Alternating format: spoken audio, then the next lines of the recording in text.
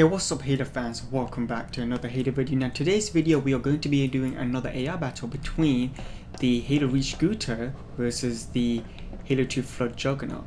Now we're doing this fight on the map called Foundry, I'm sure you guys are familiar with that in, you know, from Halo 3. So yeah, we're gonna have these two badass, uh, you know, creatures fight, fighting, you know, against each other. If you guys are new to the channel, be sure to subscribe and leave a like. Be sure to follow us on Twitch. You are, we are always going to be streaming Halo on there on Twitch, and be sure to join our Discord. Uh, we have a Halo Discord if you guys want to join that. Gonna, I'm gonna leave the video, you know, playing for you guys, and I'll see you Spartans in the next video. Bye.